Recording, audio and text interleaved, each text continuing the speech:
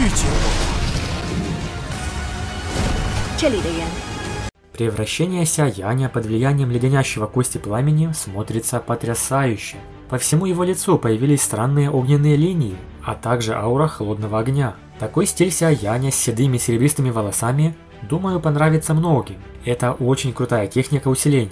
Никто не ожидал, что Сяянь сможет использовать третью форму, а главное все виды пламени в этой секретной технике – сущности огня. Да, третья форма метаморфозы пламени Сяяня крайне эпичная. Он поднялся со второй звезды предка до уровня 7 звезд.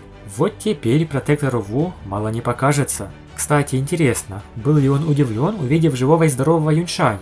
Точнее, Яо Тяньхо в его теле. Ведь давным-давно этот же протектор Ву добил его и забрал душу Юньшаня для собственного усиления. А еще в серии Сяянь заметил, что Яо Тяньхо начал вести себя иначе. А тебе не кажется, что господин Теньхо стал вести себя иначе?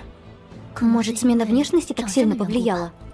В оригинале такого сюжетного поворота вообще нет. Неужели нам намекают, что вместе с телом Юншаня к Яо Тяньхо перешли какие-то остатки первого владельца? Вы только представьте, к чему это может привести, ведь Юншань это давний враг Сяояня, а силой почтенного воина он может реально навредить Сяояню.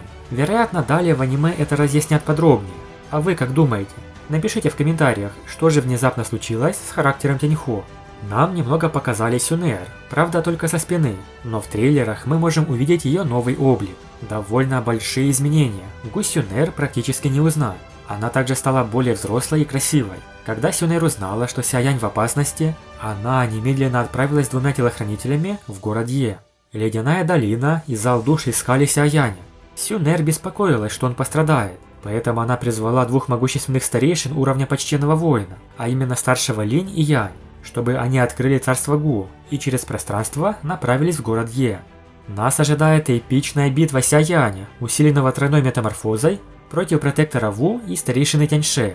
Успешно победив обоих и схватив душу протектора, Сяянь начал чувствовать, что эффект метаморфозы пламени заканчивается. Но он успел за это время победить двух предков, одного на восьмой звезде, а второго на пике девятой звезды. Это чудовищный результат.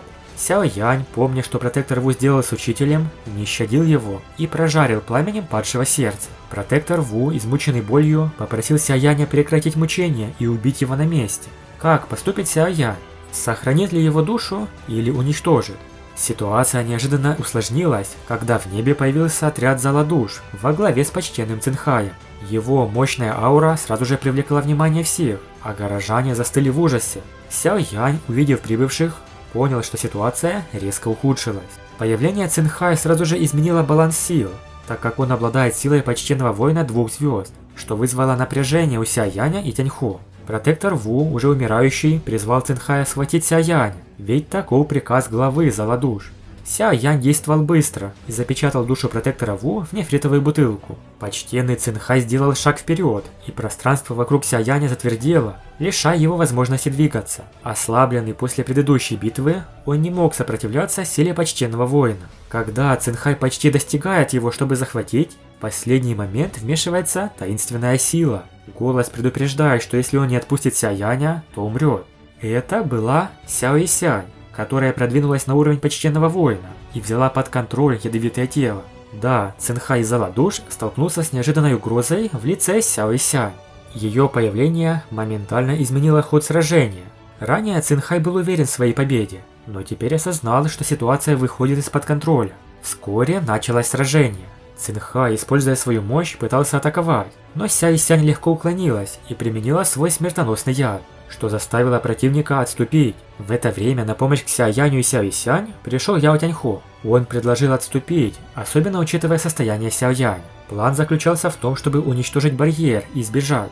Яо Тяньхо был впереди всех, взял с собой Сяо Яня и Сяо Исянь и приготовился вырваться из города Е как можно скорее. Однако побег не удался. Цинхай и его союзники не собирались отпускать Сяо Янь. Началась напряженная гонка за время. Тяньхуй и Сяоисянь атаковали барьер, создавая тоннель для побега. Но даже этот шаг оказался сложным из-за нового противника, который появился в самый неподходящий момент. Загадочная фигура на ледяном троне, обладающая еще большей силой. Это никто иной, как Бинхея, глава долины Ледяной реки, почтенный воин четырех звезд. Он лично пришел ради ядовитого тела. Видя, что ситуация безвыходная, Сяо Исянь и Яо Тяньхо атаковали вместе, но глава долины победил их всего одним движением.